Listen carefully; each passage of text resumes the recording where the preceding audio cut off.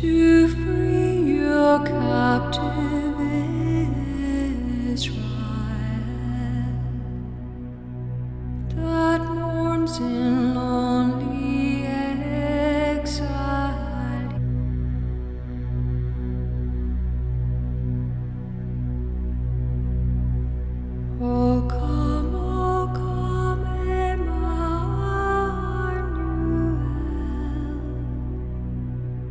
to free your captive Israel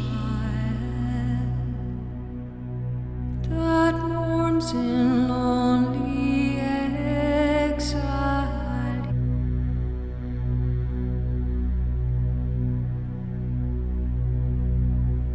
Oh,